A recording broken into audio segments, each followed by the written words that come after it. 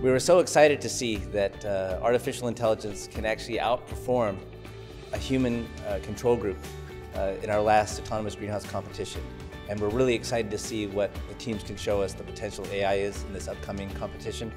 Um, this is very important because we need to do everything we can to drive the productivity of agriculture around the world. And greenhouses and indoor farming represents a very important solution for all of us to diversify how we produce our food, to have more certainty around uh, crop yields uh, when we're having uncertain weather patterns, things like water stress. So we're very excited to see what this team can do. In this uh, competition, we are going to be checking for taste as well. We're going to be evaluating taste as well. So here goes. it's good. I think we can do better with AI. Wageningen University, based here in the Netherlands, has shown tremendous leadership uh, driving this project. We're so grateful to be working with Wageningen.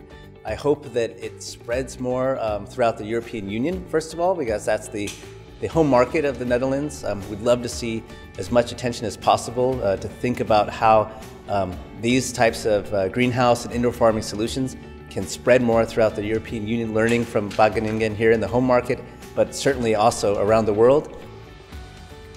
I think the idea here is that once we prove that the technology can make a major impact in a new area, it triggers all kinds of new ideas.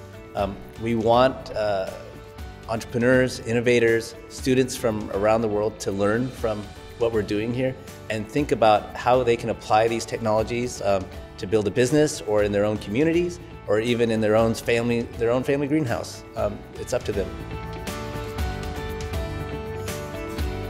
Number five, tomatoes. Number four, Matoros. Number three, IUA dot scars. Number two, Digilog.